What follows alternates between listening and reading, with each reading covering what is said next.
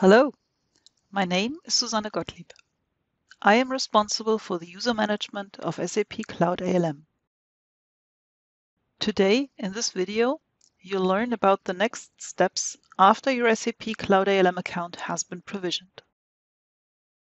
This covers your first login and the activation of your account, the creation of users in the IAS tenant, and adding these additional users to your SAP Cloud ALM application. After successful provisioning, you will find two emails in your inbox. The welcome email from SAP Cloud ALM and the activation email from your Identity Authentication Service. The second email is sent only if you do not have a productive IAS tenant yet.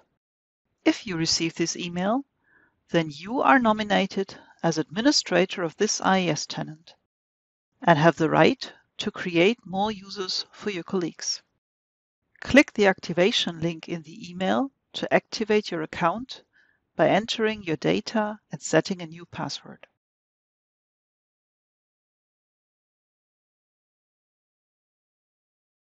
After that, you can log in to the IAS Administration Console by clicking Continue after activating your account.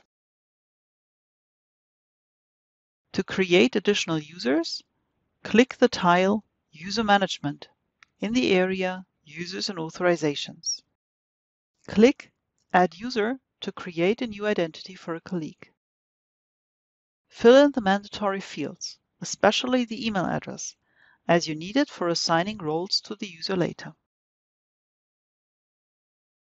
By saving the new user, the person receives an activation email and can set their own password. Next, you want to assign SAP Cloud ALM authorizations to the user you have just created. For this, log in to SAP Cloud ALM by clicking the link in your SAP Cloud ALM welcome email from the beginning. Use your email address and the password that you provided when activating your IAS account. You have requested SAP Cloud ALM, so you have received full admin authorization for SAP Cloud ALM as well. Navigate to section Administration and click the tile User Management. Click the icon Users in the overview